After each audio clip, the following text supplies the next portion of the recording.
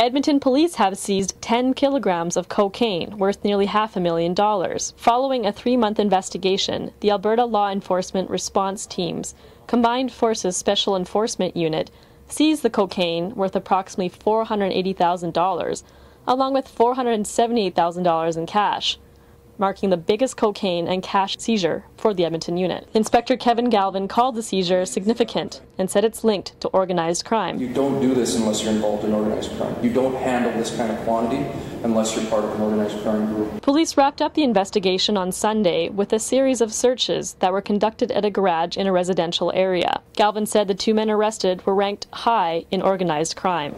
Because they've been given a lot of um, responsibilities, so they're clearly trusted members of this group. So I would say, in comparative terms, they'd be middle managers. Chien Chung Lee, 20, and 32 year old Graham Ibel have been charged with possession for the purpose of trafficking. For the Edmonton Sun, I'm Pamela Roth.